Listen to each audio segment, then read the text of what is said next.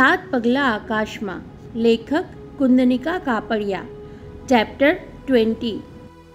લંડનના Bickley સ્ટ્રીટના પોતાના મકાનના વરંડામાં એના એકલી બેઠી હતી, વિચારતી હતી, જે કાંઈ બન્યું, તેને માટે શું પોતે જવાબદાર હતી? માણસ પોતાને જે સાચું ન્યાયી લાગે, તેનો આગ્રહ રાખે. એ માટે કષ્ટ વેઠવા તૈયાર થાય. એ શું તેની ભૂલ કહેવાય? કેટ કેટલી વાતો યાદ આવે છે. બેલાની અમલાની, વન્યાની, અનિતાની. તેમના દેખાવ, શિક્ષણ કે આર્થિક સંપન્નતા પરથી કોઈ કલ્પના ન કરી શકે કે તેમના હૃદયમાં વ્યથાનો આવો દરિયો ગુગવાતો હશે. એ બધા સાધારણ સ્ત્રીઓ જેવા જ હતા. મૃદુ, સ્નેહાળ, પ્રેમ આપવા આતુર. માત્ર તેઓ પોતાની અસ્મિતા વિશે સભાન હતા. પારણાની ગાદીથી જીર્ણતાની પથારી સુધીની યાત્રા તેઓ માથું નીચું રાખીને ધૂળ ઉડેલા માર્ગે કરવા તૈયાર ન હતા. પણ પોતાના અવાજથી પોતે બોલવું એ શું ભૂલ કહેવાય? અને એ ભૂલ ન હોય તો એની આટલી આકરી સજા એમને શાથી ભોગવવી પડી. કોલેજ કાળની અંતરંગ સખી બેલા નાની વયથી તે નૃત્યના જાહેર કાર્યક્રમો આપતી. મા બાપની કંઈક અનિચ્છા છતાં પરપ્રાંતના કલાકાર નિશાન સાથે તેણે પ્રેમ લગ્ન કર્યા હતા. લગ્નના મંડપમાં નૃત્યકારને ચિત્રકારની જોડી કેવી તો શોભી ઉઠી હતી. લગ્ન પછી પણ બેલાએ તેની કારકિર્દી ચાલુ રાખી હતી. નિશાંત હંમેશા તેને સાથ આપતો. મિત્રો વચ્ચે કહેતો, હું તો બેલાને બધી છૂટ આપું છું. બેલા મજાક કરતી. હું પણ નિશાંતને ચિતરવાની છૂટ આપું છું. પણ બે વાક્યો વચ્ચેનું બેહુદાપણું બેલાને એકાંત ખૂણે ખટકી જતું. થોડા વખત પછી કલાકારની પાછળ રહેલા પુરુષની વધુ ઓળખ થઈ.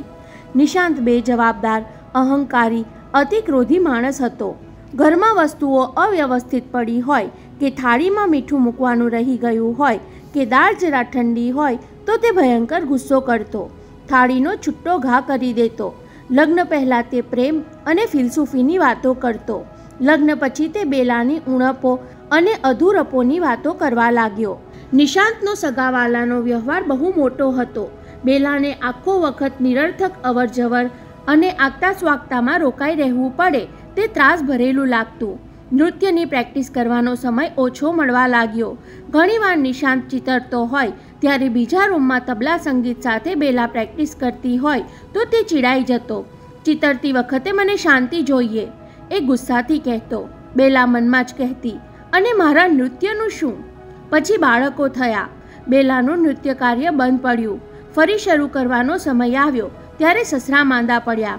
પછી નિશાંતના મોટા ભાભીનું અવસાન થયું. એટલે એમના બાળકો સહિત ભાઈ નિશાંતને ઘેર રહેવા આવ્યા. નિશાંતને ચિત્રકામ માટે સમય મળી રહેતો.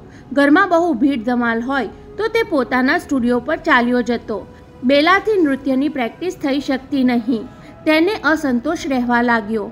નિશાંતનો આગ્રહ કે વડીલોને સાચવવા જ જોઈએ. બેલાની ફરિયાદ કે સાચવવાની મારી જરાએ ના નથી. પણ ઘરના કામ બધાએ વહેંચી લેવા જોઈએ, જેથી મને મારા કાર્ય માટે વખત મળી રહે. બેલા સ્વભાવે પ્રેમાળ હતી. ઘરકામ કરવું તેને ગમતું. સરસ રસોઈ બનાવીને જમાડવામાં તેને આનંદ આવતો. પણ એ બધા કામોમાં પોતાની કલા ડૂબી જાય એ તેને કબૂલ ન હતું. મોટા ભાઈ કે સસરા સાજા સારા હોય, ત્યારે શા માટે શાક ન સમારી શકે? કે બધાની ચા ન બનાવી શકે? એ તેને સમજાતું નહીં. રાતે બધા બેઠા હોય ટીવી જોતા હોય, વાતો કરતા હોય, ત્યારે તે એકલી થાળી ભરીને ચોળી કે પાપડી કે તુવેર લઈને બેસતી. એકલી ફોલતી. પેલા લોકોને ખ્યાલ પણ ન આવતો કે આપણે આનંદ અને આરામ કરીએ છીએ. એક જણ આખો દિવસ કામ કર્યા કરે છે.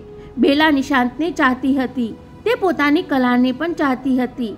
પણ નિશાંતને પોતાની કલાનું જેટલું મહત્ત્વ હતું, તેટલું બેલાની કલાનું ન હતું. મિત્રોના સમૂહમાં નિશાંત જ હંમેશા કેન્દ્રમાં રહેતો. ઘરમાં પણ તેના ચિત્રકામ માટે જોઈતી સગવડો પૂરી પાડવી જોઈએ, એવો એનો આગ્રહ રહેતો. આમાંથી પછી બંને વચ્ચે નાની નાની ફરિયાદો થવા લાગી. પછી ઝઘડા, ઊંચા અવાજે બોલા ચાલી અને પછી નિશાંત બીજા કલાકારોના સાથમાં દારૂ પીવા લાગ્યો. બેલા વિરોધ કરતી, તંગ થઈ જતી. પછી નિશાંત અવારનવાર બેલાને મારી બેસતો. બેલાએ સખ્ત વાંધો લીધો, તો નિશાંતે કહ્યું કે પુરુષ સ્વભાવથી જ આક્રમક હોય છે.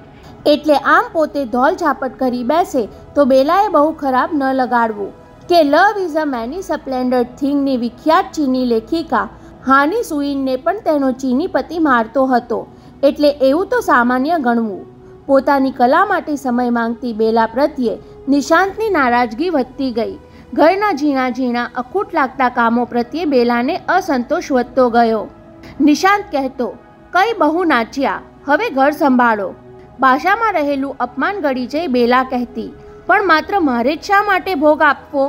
ઘરના બધાએ સાથે મળી કોઈ વ્યવસ્થા કેમ ન ગોઠવવી, જેમાં મને પણ મારો સમય મળી રહે? પણ ઘરમાં કોઈ એ માટે તૈયાર ન હતું. સંઘર્ષના તાપમાં જીવનનું વૃક્ષ સુકાવા લાગ્યું. નિશાંત વધુ દારૂ પીવા લાગ્યો.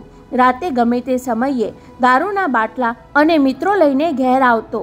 રાતના ત્યારે અગિયાર વાગ્યા હોય કે બાર વાગ્યા હોય, બેલાએ રાંધીને બધાને જમાડવા પડતા. અંતે હારીને તેણે છૂટાછેડા લીધા. સમજુ માતા પિતાએ ક્યારેય કહ્યું નહીં કે અમે તો તને ચેતવતા હતા. આજે બેલાની નૃત્ય શાળા સરસ ચાલે છે. આર્થિક મુશ્કેલી નથી, પણ વિફળતાની એક પીડા સુના મનમાં ચિતકાર્યા કરે છે. પ્રેમ તો અમે બંનેએ કરેલો કલાને બંને ચાહતા હતા. તો સ્ત્રી માટે જ પ્રેમનો અર્થ ત્યાગ કેમ? અમલા માત્ર બુદ્ધિમતી નહીં, બૌદ્ધિક યુવતી હતી. તેના જેવી પ્રખર અને આત્મગૌરવવાળી સ્ત્રીઓ એનાએ બહુ જોઈ ન હતી. વિદેશી મંત્રાલયના એક ઉચ્ચ અધિકારી સાથે તેના લગ્ન નક્કી થયા હતા. બધી તૈયારીઓ થઈ ગઈ હતી.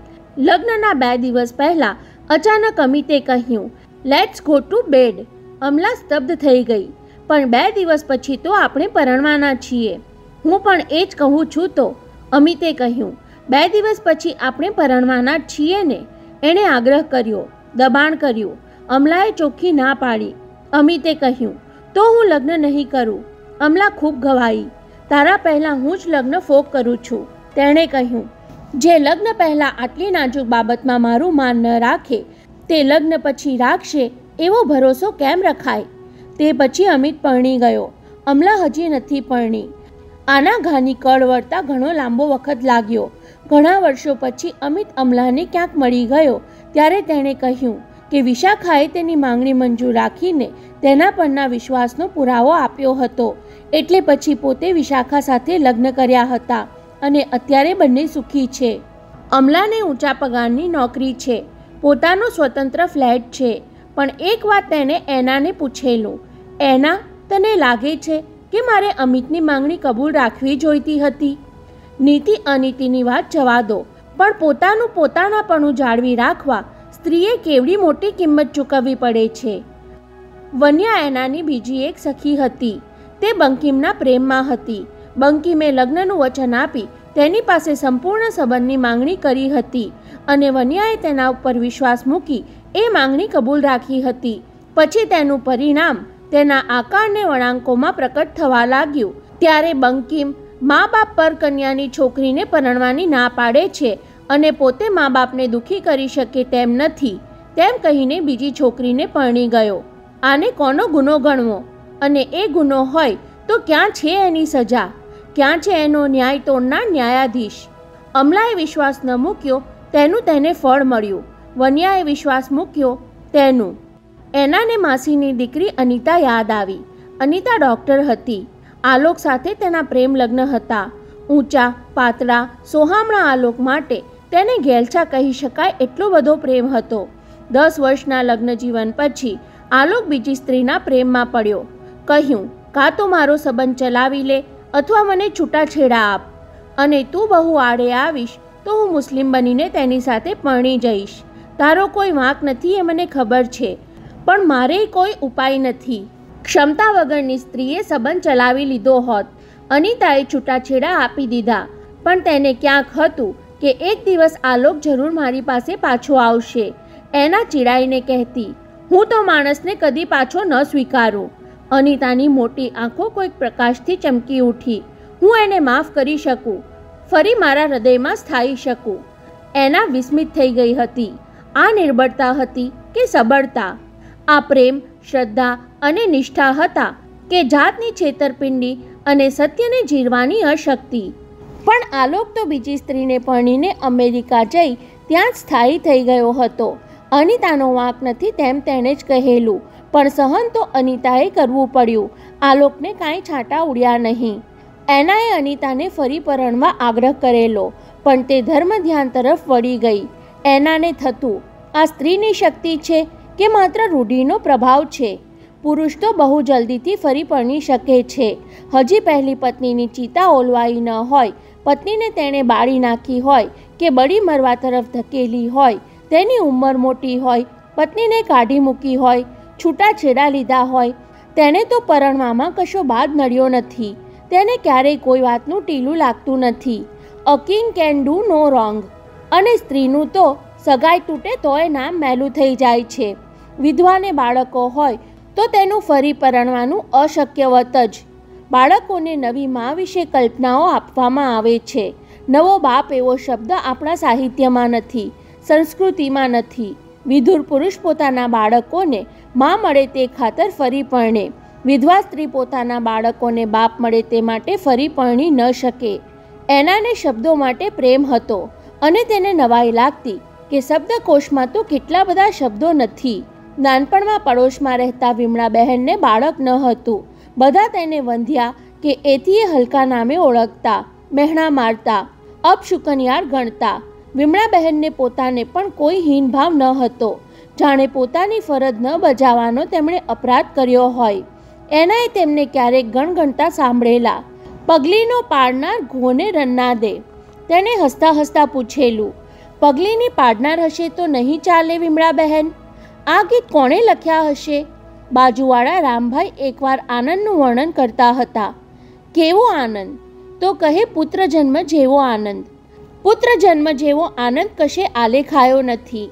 ઠીક પુરુષની ખામીને લીધે પણ સંતાન ન થાય એવું બને. પણ પુરુષને તો મહેણા ટોણા સાંભળવા પડતા નથી. વિમળાબહેનના પતિએ પછી સંતાન માટે થઈને ફરી લગ્ન કરેલા અને બીજી પત્નીને પણ સંતાન ન થયું. ત્યારે ત્રીજી વાર સોળ વર્ષની એક ગરીબ છોકરી સાથે તે પરણ્યા હતા. એનાને વિમળા બહેનને પૂછવાનું મન થતું કે તમને શું ક્યારેય શંકા નથી આવી કે સંતાન ન થવા માટે તમારા પતિ જવાબદાર હોઈ શકે? તેનું મન તો આગળ પણ પ્રશ્ન પૂછવા પ્રેરાતું. અને એવું હોય તો એમને છોડીને તમે બાળક ખાતર બીજા પુરુષને પરણો ખરા? પણ તે પૂછી શકી ન હતી. તેને ખબર હતી. સ્ત્રીઓ પ્રશ્ન નથી પૂછતી. અને એટલે જ વંદ્ય પુરુષ જેવો શબ્દ શબ્દકોશમાં નથી. ત્યક્તા શબ્દ છે. પુરુષને કોઈ ત્યક્ત કહેતું નથી. શબ્દકોશ રચનારા પુરુષો જ હશે નહીં. અને તજવાનો અધિકાર પણ પુરુષને જ હોય છે ને. એનાના એક દૂરના કાકીને પાંચ દીકરીઓ હતી. કેટલી દીકરીઓ છે તમારે? ત્યારે પાંચ. એવો જવાબ આપતા તે સંકોચાઈ જતા. દીકરા હોત છાતી ફૂલાવીને જવાબ આપત. તેમના ઘરના લોકો તેમના પતિ પણ આટલી બધી દીકરીઓને જન્મ આપવા માટે તેમને જાણે અપરાધી ગણતા. ઓહો, આ સ્ત્રીઓને કોઈને ખબર ન હતી કે બાળકની જાતિનું નિર્ધારણ તો સંપૂર્ણપણે પુરુષના સેલમાં રહેલા ક્રોમોસોસ પર જ આધાર રાખે છે.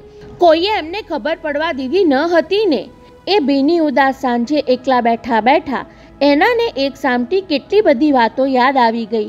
થોડી વિગતોના ફેરફારને બાદ કરતાં ઘણી બધી સરખી વાતો. પુરુષના વર્ચસ્વની, પુરુષના હાથે સહેવા પડતા અન્યાયની, જેમણે મૂંગા મૂંગાએ સ્વીકારી લીધું છે, જેમનું ઘર કિલ્લોલ કરે છે, જેમણે અવાજ ઉઠાવ્યો છે, પ્રશ્ન પૂછ્યા છે, તેમના દિવસો આંસુ ટપકાવતા છે, રાતો ઉજાગરાથી રાતી છે. નાનપણથી જ એના આ બધી અસમાનતાઓ વિશે સભાન હતી. પહેલાં તેને એમ હતું કે ભારતીય સમાજમાં જ આવી પરિસ્થિતિ છે. પછી તેને ખબર પડી કે પશ્ચિમના દેશોમાં આથી કંઈ બહુ જુદી સ્થિતિ નથી. ત્યાં પણ પુરુષોનો અધિકાર પહેલો ગણાય છે. રાજાને પુત્ર હોય તો પછી પુત્રી મોટી હોય તો પણ તેને રાજગાદી મળતી નથી. એના આ વિશે તેના મા બાપ સાથે વાત કરતી. પિતા બેદરકારીથી કહેતો, રાજ્ય કરવામાં શું મોટું સુખ છે? એના કહેતી, રાજ્ય ચલાવવામાં સુખ છે કે દુઃખ તેની વાત જ નથી. પણ બે ભાઈઓ હોત તો તેમાંના મોટા ભાઈને ગાદી મળે. તો પછી ભાઈ બહેન હોય, તો મોટી બહેનને ગાદી કેમ ન મળે? માં કહેતી, બસ હવે, સ્ત્રીઓને તે રાજ્ય કરતાં આવડતું હશે? એના પાસે હંમેશા જવાબ હાજર હોય, એલિઝાબેથ અને વિક્ટોરિયાએ રાજ્ય બહુ સારું ચલાવેલું, માં. એના એની દલીલો કરતી અને એવું એવું બોલતી કે મા બાપને નવાઈ લાગતી કે ચુસ્ત રૂઢિવાદી એમના કુટુંબના બાળકમાં આવા વિચારો ક્યાંથી આવ્યા હશે? એક વખત તો તેણે હદ કરી હતી. કુટુંબમાં કોઈકના લગ્નમાં એનાના એક દૂરના વિધવા માસી આવેલા.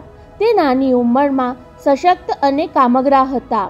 એટલે લગ્નના કામોમાં એમની એ આવડતનો પૂરો લાભ લેવામાં આવતો. કંઈ પણ મુશ્કેલી ઊભી થાય કે કહેવાતું, માલતીને બોલાવો. પણ લગ્નની અમુક વિધિ કરવાની આવી, ત્યારે એનાની માએ એમને સિફતપૂર્વક ત્યાંથી દૂર મોકલી દીધા. એનાની નજર તો આવું બધું પકડી પાડતી. એ લગ્નમાં તેના મામા પણ આવેલા. મામી થોડાક મહિના પહેલાં જ ગુજરી ગયેલા. એક ઓરડામાં કોઈક પૂજા વિધિ રાખેલી. ત્યાં મામા દાખલ થયા કે એના હેતપૂર્વક મોટેથી બોલી પડી. અરે અરે, મામાને ત્યાં જવા ન દેતા. અપશુકન થશે. બા છડી પડીને બોલી, એ શું બકે છે છોકરી? એનાએ નિર્દોષતાથી કહ્યું, માસીને તે પેલા વિધિમાંથી દૂર કરેલા એટલે મને એમ કે વિધુર મામાથી પણ એવી વિધિમાં હાજર નહીં રહેવાતું હોય. બાપુએ એને ખૂબ ધમકાવેલી, છાની રહે, પુરુષના તે વળી કાંઈ અપશુકન હોતા હશે? એના તરત બોલી, તો અપશુકન માત્ર સ્ત્રીઓના જ હોય? એટલી વેધક રીતે તેણે કહ્યું હતું કે સાવ રિવાજોની રેખા પર જ ચાલતી તેની બાને પણ થયું કે અપશુકનનું પરિણામ માત્ર સ્ત્રીના અસ્તિત્વમાં જ કેમ ઉમેરાતું હશે. એનાની પડોશમાં એક સહદય લેખક રહેતા હતા. એના પોતાના કાવ્યો વંચાવવા ઘણીવાર તેમની પાસે જતી. એકવાર તેમના પત્ની માંદા પડ્યા. લેખક નદીએ કપડાં ધોવા ગયા તો સાથે પત્નીના કપડાં પણ ધોવા માટે લઈ ગયા. આખા ગામમાં વાતો ચાલી. હાય હાય, બૈરાના કપડાં ધુએ છે. એનાને થયું, પણ સ્ત્રી તો રોજ પતિના કપડાં ધુએ છે. ત્યારે તો કોઈ હાય હાય કહેતું નથી. તે પતિના કપડાંની ઘડી વાળે છે. તેની એઠી થાળીમાં જમે છે. પતિ કેમ એવું ક્યારેય કરતો નથી? એ દિવસોમાં ઘણી છોકરીઓને મા બાપ છોકરાના કપડાં પહેરાવતા, ખમીસ ચડ્ડી પહેરીને છોકરીઓ ભણવા જતી. પણ છોકરાને છોકરીના કપડાં પહેરાવે તો બધા મશ્કરી કરે. એનાને આ સમજાતું નહીં. એનાના ઘેર મગન નામનો નોકર બહુ લાંબા સમયથી કામ કરતો હતો. તે વાસણ માનતો ઝાડુ કાઢતો, પાણી ભરતો, કપડાં ધોતો. તેના રહેવાની ઓરડી નજીક જ હતી. કોઈક વાર એના તેની વહુ સાથે વાતો કરવા ત્યાં જતી. એકવાર તે એમ ગઈ, ત્યારે મગનની વહુ માંદી હતી. ઘરમાં મેલા કપડાનો ઢગલો પડ્યો હતો. કચરો કોઈએ વાળ્યો ન હતો. ત્યારે તેને ખબર પડી કે મગન એને ઘેર તો એક વાસણ પણ ઉચકીને જગ્યાએ મૂકતો ન હતો. એટલું જ નહીં, એ માનતો કે એ તો ઉતરતું કામ છે અને એ કામ તેની પત્નીએ જ કરવું જોઈએ. પોતે તો કુટુંબનો રોટલો રણનાર છે. તેની બાને આ વાત કરતા બાએ કંટાળીને કહ્યું, એવી નકામી માથાકૂટ કરવાને બદલે તારું સ્કૂલનું વાંચને? ભણીશ નહીં તો નાપાસ થઈશ અને નાપાસ થઈશ તો સારો વર ક્યાંથી મળશે? નાનપણમાં એનાને ભણવામાં બહુ રસ પડતો નહીં. રમવું, રખડવું તેને બહુ ગમતું, પણ મોટા થતાં તેને અનેક વિષયમાં રસ જાગૃત થયો.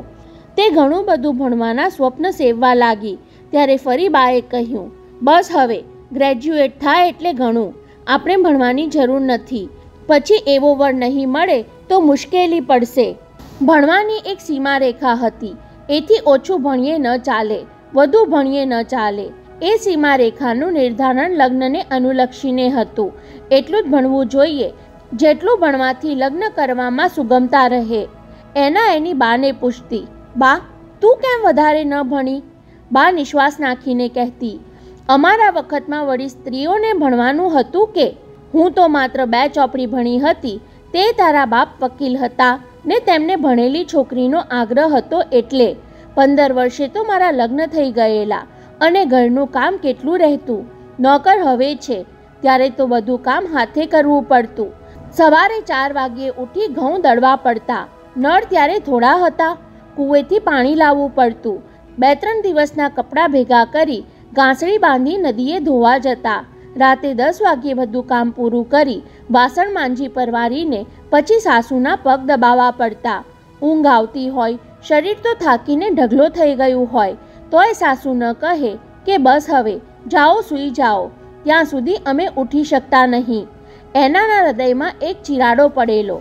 આવેગથી બાને વળગી પડી રુદ્રકંઠે બોલી હતી, ઓ બા, આટલો બધો ત્રાસ તે મૂંગામોએ વેઠી લીધો હતો? કોઈ દિવસ ફરિયાદ ન કરી.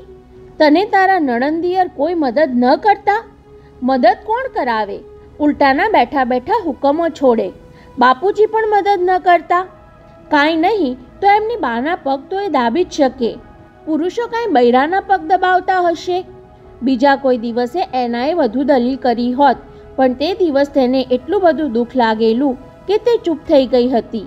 મારી બા, ઓહ એણે કેટલા કષ્ટ વેઠ્યા. પંદર વર્ષની નાની ઉંમરે. અને કોઈ એને મદદ પણ ન કરાવે? બાપુજીને સવાર સાંજ તો વખત મળતો હશે. બેઠક ખંડમાં બેસીને તે મિત્ર સાથે ગપ્પા મારતા હશે. ફરવા જતા હશે. ક્લબમાં જતા હશે. ટેનિસ કે બ્રિજ રમતા હશે. ત્યારે એ સ્ટેટસ સિમ્બોલ ગણાતું હશે. કોઈ દિવસ પત્નીને પાસે બેસાડી સ્નેહથી પૂછ્યું નહીં હોય કે તું થાકી ગઈ છે? તારા પગ દુખે છે? ત્યારથી તેણે બે વાતની ગાંઠ વાળી હતી. એવા માણસ સાથે લગ્ન કરીશ, જે મારી સમાન ભાવે જીવે અને જે વાત ખોટી, અન્યાયી લાગતી હશે, તે કોઈ દિવસ સહન નહીં કરું. એની સામે લડીશ. પછી એ અન્યાય મારા જીવનમાં હોય કે સ્વજનોના? વિપુલ તેના જીવનમાં આવ્યો ત્યારે પહેલેથી તેણે સ્પષ્ટતા કરી હતી. એનાને સાહિત્યમાં રસ હતો. તે કાવ્યો લખતી અને કુમારમાં તે છપાતા પણ ખરા. એ કાવ્યો વાંચીને નેરોબીમાં રહેતા વિપુલે એને પ્રશંસાનો પત્ર લખેલો. એનાના કાવ્યોમાં વિદ્રોહની, ક્રાંતિની વાતો રહેતી. વિપુલના વિચારો સમાજવાદી હતા.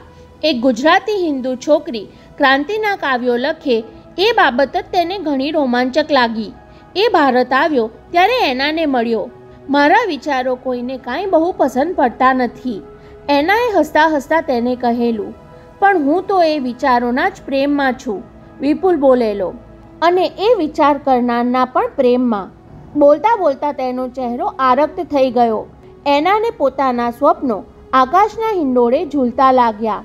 બે જણ સાથે મળીને તો કેટલું બધું કામ કરી શકે. વિપુલની તો મા પણ શિક્ષિકા હતી. હું તો માનું છું કે સ્ત્રીઓએ આર્થિક રીતે આત્મનિર્ભર થવું જોઈએ. તો તેનું સત્વ ખીલે, વિપુલ કહેતો. જિંદગીમાં કોઈને મોએથી આવી વાતો એનાએ સાંભળી ન હતી. તેના વિચારને કોઈએ આવું પ્રોત્સાહન આપ્યું ન હતું. અરૂઢ વિચારોના પ્રદેશમાં તે સાવ એકાકી હતી. અચાનક દૂર દેશથી એક રાજકુમાર, ના, સમાજવાદમાં રાજાઓને રાજકુમાર નથી હોતા. દૂર દેશથી એક સાથીદાર આવ્યો. ઘર જળાહળા થઈ ગયું. આનંદની હેલીમાં તે ભીંજાઈ રહી. તેમના લગ્ન થયા ને નેરોબી છોડીને વિપુલ તેની મા અને એના લંડન રહેવા ચાલ્યા ગયા.